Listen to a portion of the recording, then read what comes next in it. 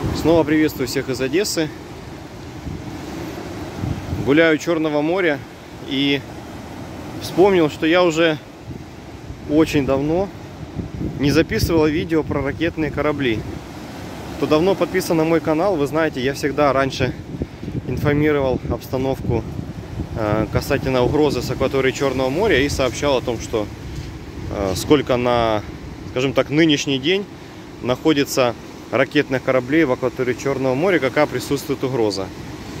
Вот. А сейчас об этом совсем не сообщаю, не от того, что мне не хочется это делать, или не от того, что я забыл про это, а от того, что их там просто нету. А что это означает, друзья? Это означает, что наши подводные, то ли надводные дроны достаточно эффективно себя проявили.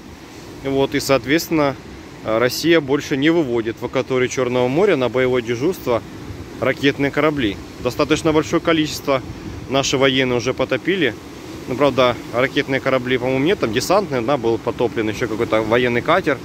Вот. Но, во всяком случае, э, боятся, боятся ракетоносители выводить, потому что мало того, что сам как бы ракетоноситель, да, как бы достаточно дорогой корабль, а плюс там еще находится как минимум 8 калибров.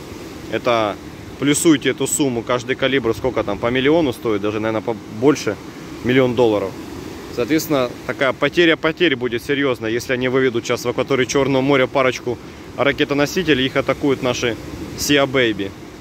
Вот это будет совсем им не весело тогда. Поэтому они боятся и э, ракетоносители не выводят. Даже когда последний раз были пуски калибров, месяц назад, во время массированных ракетных атак, когда применяли бомбардировщики, Э, калибры запускались аж с Новороссийска, то есть это аж за Крым, туда там, ну, то есть далеко-далеко. Не, не, не отсюда вот они раньше пускали ближе гораздо были к нам, и пуски были отсюда, то пускали аж с Новороссийска, аж кто знает откуда. Так что такие дела. Вот. И калибров практически в последнее время нету совсем.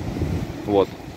Их, их ими не атакуют. Если раньше практически постоянно калибры, калибры, пуск калибра, пуск калибра, особенно это Одессу, Одессу, Николаев этими калибрами э, мучали достаточно сильно. То сейчас все, калибры, калибры ушли в небытие.